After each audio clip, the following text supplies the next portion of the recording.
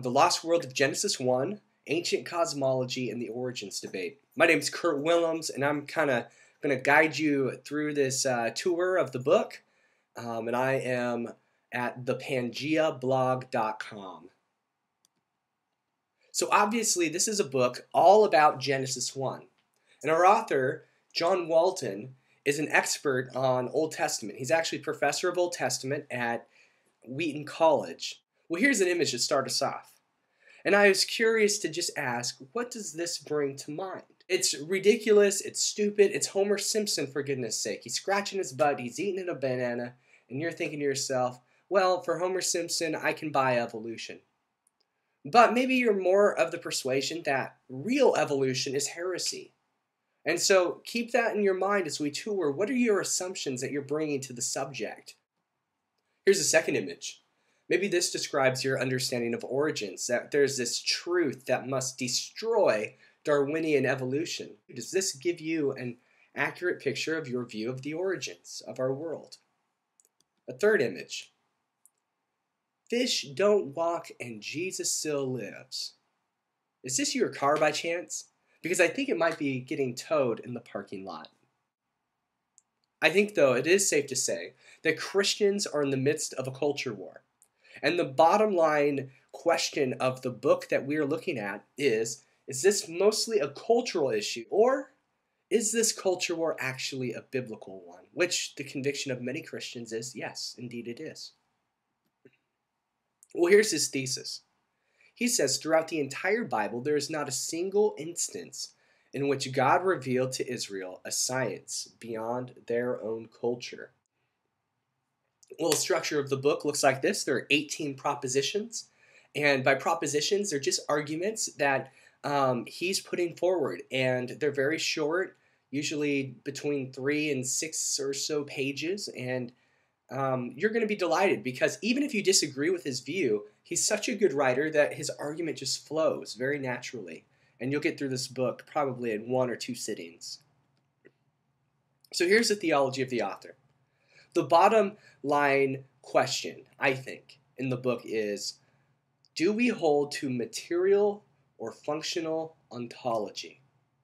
So let's talk about what does that mean? Ontology, big word. So let's let's unpack it a little bit. Material ontology is the belief that something exists by virtue of its physical properties and its ability to be experienced by the senses. My guess is you're sitting in a chair or some kind of chair-like device, maybe a couch, um, and maybe that's an image that we can grab a hold of, right? Literally, you can touch your chair, you can feel it, it can be experienced. It is a material reality. So, our worldview is typically something where we look at materiality and we say it exists because it's real, we can touch it. Now, functional ontology, functional views of reality are a little different. The ancient world believed that something existed by virtue of its having function in an ordered system. Well, what does that mean? I mean, that's kind of crazy, isn't it? But let's think of a grocery store. You know, the question might be for us when does a grocery store actually become a store? You know, there's been a lot of construction in my city. And down the block, there's been um, the store that's been going up. And I don't know what store it is, but let's just imagine that it's a Vons or an Albertsons you know, there's a foundation that'll be laid, there's going to be some walls that go up. And the question is, like, when does it actually become a grocery store? Is it a grocery store when there's slabs of concrete and some walls? Well, I'm not too sure. Maybe it's a grocery store when the sign will finally be displayed so people know, oh, that's going to be a place where I can eventually get groceries. Well, it doesn't really function as a grocery store if there's no food in it. So maybe if we took our argument a bit further, we'd say, okay, so when the aisles are in place, so you know where to get your sugar and where to get your milk and where to get your eggs and all of the various things that you're going to want, then it's kind of like a grocery store. But I'm going to argue that maybe a grocery store isn't actually functional as a grocery store until the first customer comes in because the employees are now in place, the food is in place, the products are in place, and now the customer can come in, make their purchases, and it functions for the benefit of who? The customer. A grocery store does not become functional when the building materials finally come together to make a storefront. It becomes a functional store when the employees are in place to make the building function so that it's stocked with food and ready for customers. I hope you're getting the picture here, the difference between material and functional views of reality. Let's keep looking at this. Functional ontology creates an ordered system. An ordered system being like a grocery store, there is a system for the sake of the customer. This is what John Walton says. He says, I do not refer to an ordered system in scientific terms, but an ordered system in human terms, that is, in relation to society and culture.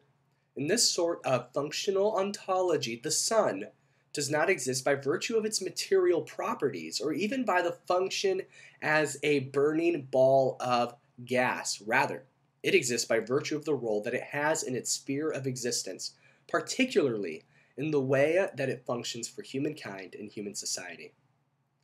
In a functional ontology, to bring something into existence would require giving it a function or a role in an ordered system rather than giving it material properties. Consequently, something could be manufactured physically, like a grocery store, but still not exist if it has not become functional. I think you're really, hopefully, starting to at least grasp his argument. And he's basically saying, in the ancient world, this is how they viewed reality and existence. It had nothing to do with materials, it had everything to do with the organization of those materials for a purpose. So, big idea number one Genesis 1 is a text about functional origins. Now, this would be consistent with the ancient Near Eastern worldview and all of the uses of the word bara, create, in the Hebrew Bible. Bara is never used to describe material origins in Scripture. This does not negate the reality that God did create those materials. But the Genesis one really isn't about that. It describes God organizing reality to function for human image bearers. Now, I know this is maybe messing with some of your understandings of um, creation, and it should because we've held a much different view for so long. I want to make something very clear that it does not negate the reality that God did, in fact, create as we understand creation. And there's there's verses in the New Testament that attest to this. So do not get worried. We're not denying the creation ability of God. We're asking a different question. Here's the big idea number two that's really important cosmic temple inauguration. Okay, so in the ancient Near East, a deity was expected to dwell restfully in a temple. Okay? Now, the cosmos in this view is God's universal temple. This is backed up by other Old Testament passages that he argues very persuasively with. Now, the functional arrangement of the cosmos for seven days parallels a seven day inauguration ceremony for a tabernacle or a temple. So, after setting up the quote temple to function for humanity, God takes residence in it to run the world. So, God's resting is this active activity. It's not rest like he's just taking a nap. He's not tired, he's God. But he is making his presence real in the temple so that everything functions now that it's all been set up. And God's been resting ever since. When the deity rests in the temple, it means that he is taking command, that he is mounting to his throne to assume his rightful place and his proper role. So, continuing this idea, God took the chaos of prehistoric evolutionary materials and organized them to function with order, which he called very good. The seven days are God's assigning functions to the cosmic temple to work for human image bearers. God's world is now a place where God rests and humanity functions as his care providers for the earth. So, what are some insights and application here? We're going to truck through these. Genesis 1 is the moment in the history of God's ongoing creation of materials in the world when he intervened to set up the cosmos as his functional temple for the benefit of humankind, who, for the first time, were branded with his divine image to become higher than all of the animals. Genesis 1, when read this way, allows us to embrace what science seems to tell us about material origins because, for goodness sake, in this view, this text is all about functional origins. So evolution and creation are no longer at war with each other. The battle is done. Let's wave our white flags and let's move forward in some productive dialogue about the kingdom of God. It does beg a big question, though, about Adam. Was he created functionally by being chosen out of all the other, maybe Homo erectuses of the day from the evolutionary material process? Did humanity come from common ancestors who would eventually bear the image of God? It's the idea that God created in the sense that we're used to the word until the right time, and then he set up these functions and he took a man from out of all of the animals and he said, You are going to be my image bearer. You can look at the book for a little bit more of an argument in that direction.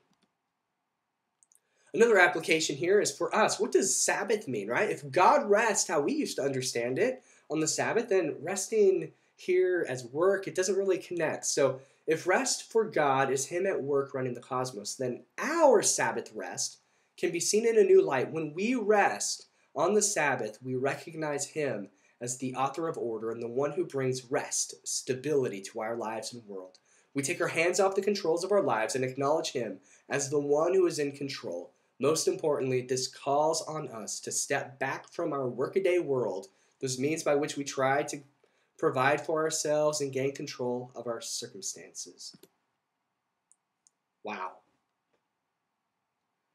Are you ready for that? Okay, let's continue. Scholarly advancement.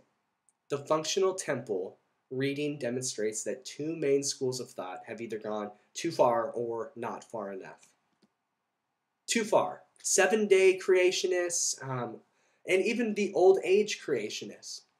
Here's the deal they fail to read Genesis 1 as an ancient, and we all know that it's inspired by the Holy Spirit, ancient document. They impose material ontology onto the text. So instead of knowing that in the ancient world it was all about functional ontology, they're imposing this material worldview that really is foreign to the world of the scriptures at least in the Old Testament. Looks for scientific info about origins that simply is not there, and thus create a false polarity between evolution and Scripture. They go too far. Who goes not far enough? Well, this is the literary approach, the framework theory, as it's popularly known as. You know, this is the idea that um, Genesis 1 is this poetic expression of big theological idea. It tends to reduce Genesis 1 to literary theological expressions, and the risk here is reductionism. Walton says it this way theory, the theory in this book does not require them to discard that interpretation, but only to accept the functional perspective alongside of it. So, Another thing is the cosmic temple inauguration view puts forward a perspective that other theologians can build off of to further improve their interpretations. I want to give you one last thought. This is my thought. I don't know, maybe other people have thought of this, but um, it just kind of came to me as I read this book. Is that I think there's huge ramifications for understanding the new creation um, if we understand a functional ontology. You see new creation as expressed in Isaiah 65 and elsewhere, Romans 8, Revelation 21, really becomes about God restoring order or shalom functionally rather than replacing this cosmos with the brand new materials. You know, the argument always goes is this world going to be destroyed and remade like literally a brand new heaven and a brand new earth? Or is this about cosmic renewal? And I think this argument continues to push us towards this idea that new in the New Testament, new heaven, new earth, does not mean brand new, but it means new in function, renew. I think this totally deconstructs the old thought that this world is going to be destroyed. It was functional in the beginning, and it's going to be functional in the end. Well, thank you for um, hanging out. I hope you'll read this book, and um, I hope that uh, it's been informative for you.